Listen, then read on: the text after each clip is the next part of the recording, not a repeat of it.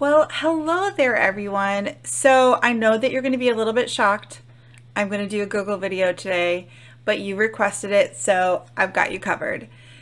So I thought I would just start with a really fun one. Okay, so in Google Calendar, I know that there are many people who are supporting multiple executives, and we've got a little bit of a crazy situation when we look at the Google Calendar. There's lots of very bright colors.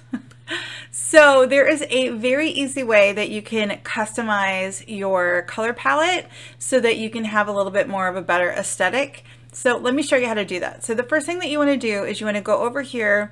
I'm going to go to this URL, but there are a ton of color palette generators out there so feel free to go whichever one that you uh, like you can just go find a palette that speaks to you whatever you feel like. Um, let's go ahead. I'm going to go with this one over here. So what you're going to go ahead and do is you are going to just copy it and then you're going to head over to Google Calendar and then right over here. So if you see, I've got an example of two calendars up and it can be a little challenging on the eyes now, especially if you're color coding the individual meetings. But for this example, this is going to change everything that's not color coded. So I'm going to go over here to the ellipsis. I'm going to go down here to the plus symbol.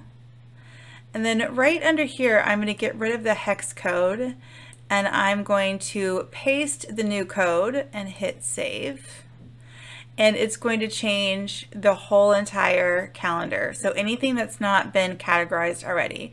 So I'm going to go back here to this next one and then I'm going to get this color. I'm going to go here and then click on the ellipsis, go down here to the plus symbol and then do the same thing, get rid of the hex code,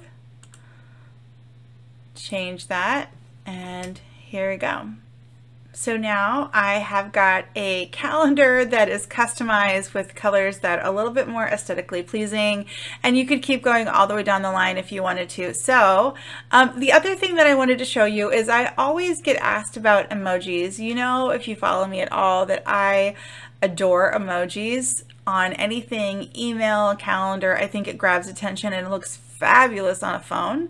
So let me just show you what that looks like. So I'm just going to double click on here and just create a meeting invite. And this actually works in both Microsoft and in Google. So all I'm going to do is I'm going to hit the Windows icon and the period on my keyboard. It's going to open up my emojis and then I'm going to put dinner and I'm going to go with this one.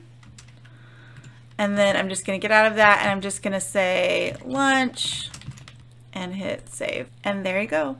So for me, this just makes such a huge difference whenever I'm looking at my calendar.